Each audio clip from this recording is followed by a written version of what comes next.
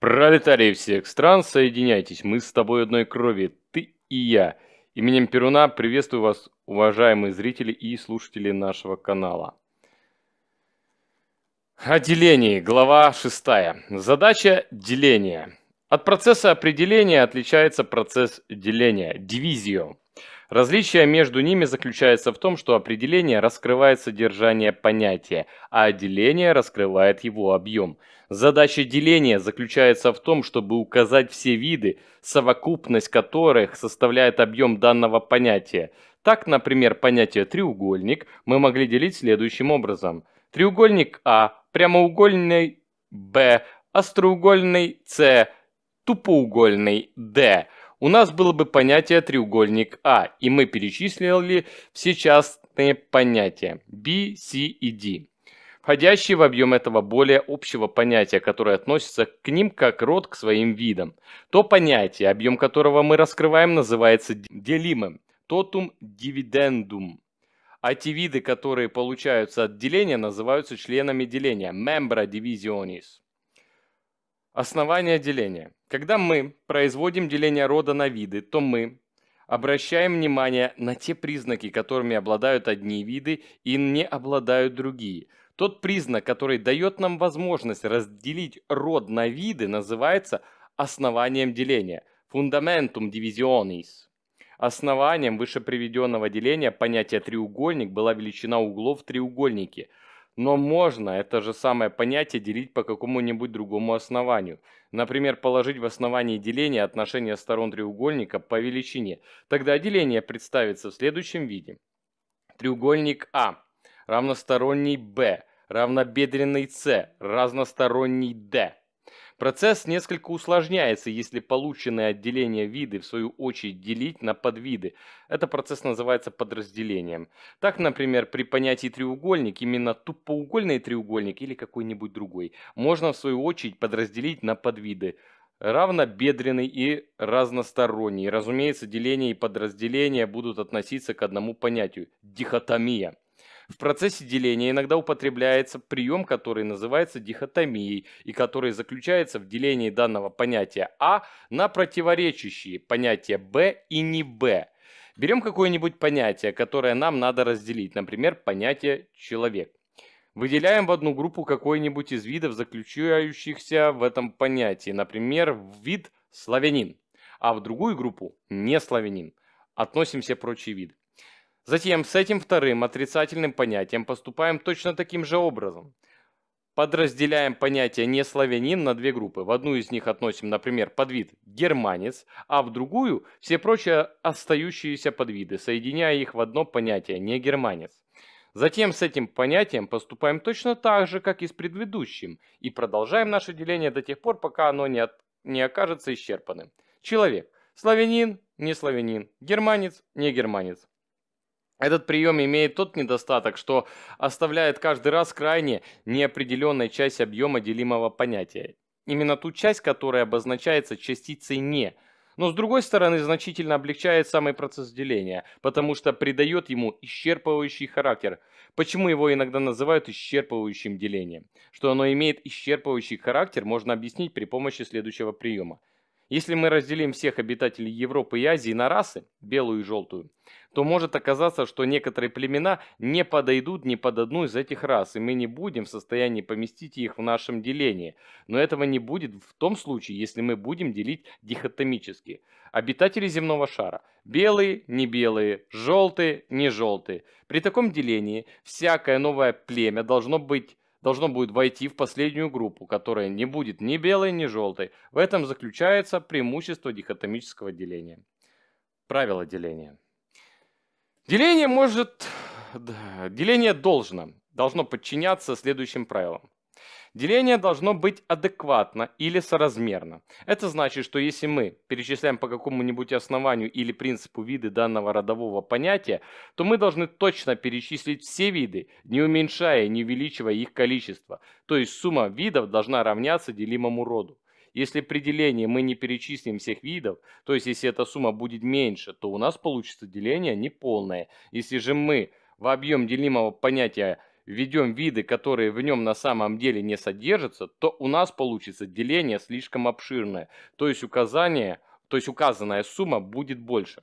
Например, положив в основание деления понятия треугольник, величину его углов, мы могли бы получить такое деление. Треугольник, остроугольный, тупоугольный. Ясно, что это деление не полное. Ибо здесь не хватает одного члена деления, потому что в объем понятия треугольник находится еще один вид, который при делении нами пропущен, именно прямоугольный треугольник. Неполным было бы деление людей на порочных и добродетельных, деление на научных теорий на истинные и ложные, потому что в этих делениях упускаются промежуточные ступени. Кроме людей порочных и добродетельных, есть люди, о которых нельзя сказать, что они порочны, но нельзя сказать, что они добродетельны.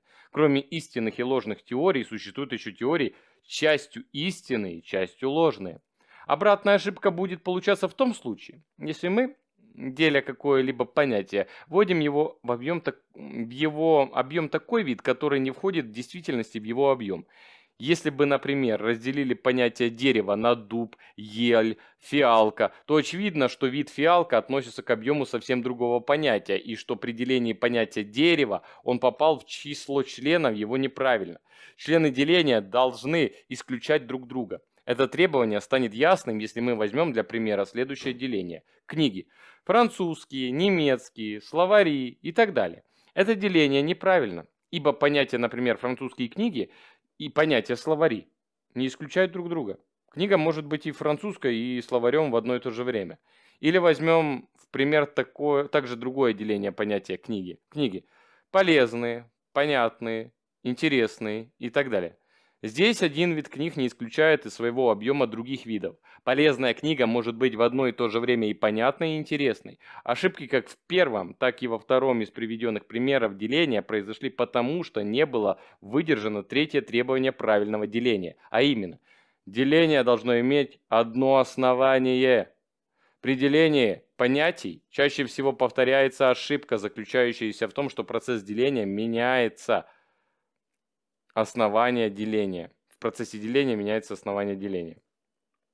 Произведем деление народов Европы. Народы Европы. Магометяне, христиане, французы, немцы и так далее. Ребята, это деление неправильно.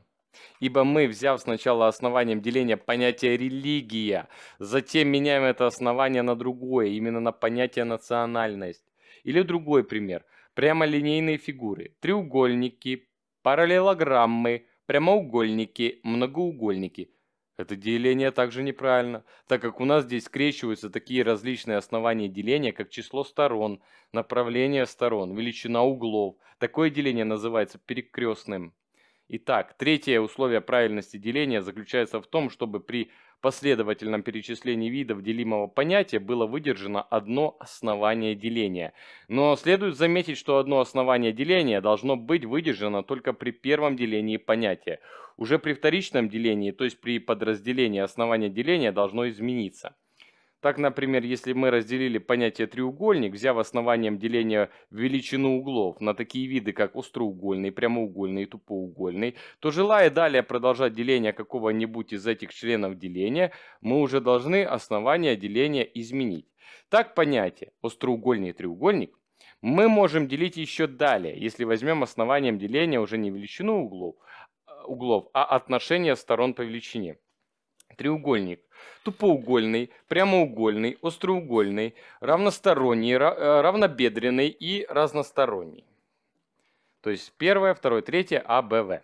Деление должно быть непрерывным, то есть при делении какого-либо понятия нужно переходить к ближайшему низшему роду. В противном случае будет получаться то, что называется скачком в делении.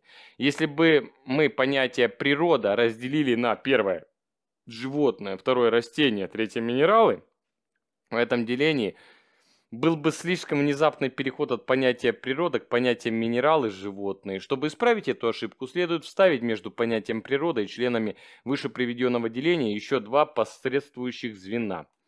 Именно понятие мир неорганический и мир органический. Тогда деление приняло бы следующий вид. Природа – мир органический, животные и растения – мир неорганический, минералы и прочее. Вопросы для повторения. Итак, вопросы отвечайте мне в комментах. Какова задача деления? Первый вопрос. Второй. Что называется делимым понятием? Третий вопрос. Что называется членами деления? Четвертое. Что такое основание деления? Пятое. Что такое подразделение?